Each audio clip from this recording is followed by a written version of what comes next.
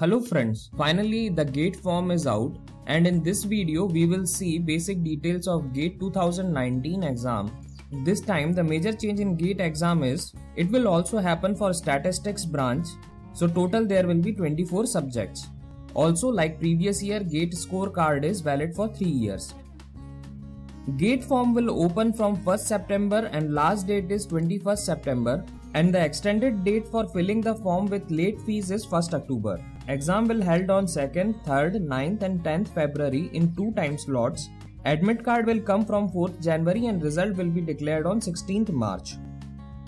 Now we will see the basic eligibility of the exam. Students who are passed out or passing out this year can give GATE. Third year students are not allowed. There is no age limit and passing out limit in GATE, but you can appear only in one paper out of these 24 papers. You can find details in GATE brochure Link of this is given in the description. Now those who have backlogs can also give gate and only condition is you should have passing out certificate at the time of admission. These are documents required while filling the form. First is personal information like name, date of birth, address including PIN and remember that name should be exact as in your passing out certificate.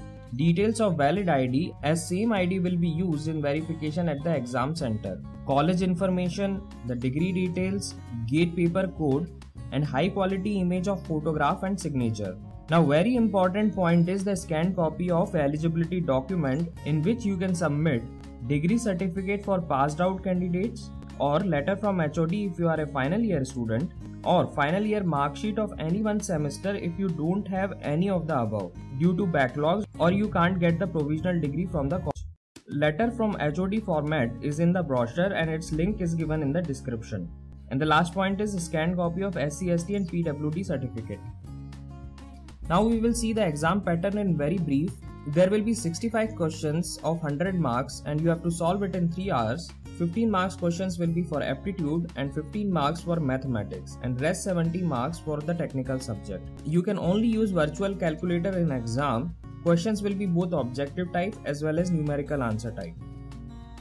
Now let's see the last point which is the exam fees. For female SCST and PWD candidates, the fees is 750 rupees and for all other it is 1500 rupees. And at the extended date period, the late fees for female SCST and PWD candidates is 1250 rupees and for all other candidates it is 2000 rupees.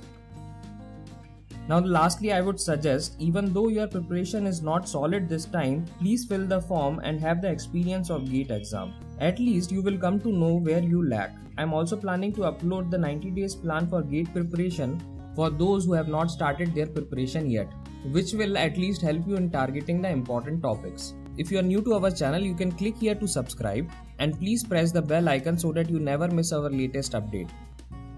Our engineering related videos usually come on every Monday. And finally, thanks for watching.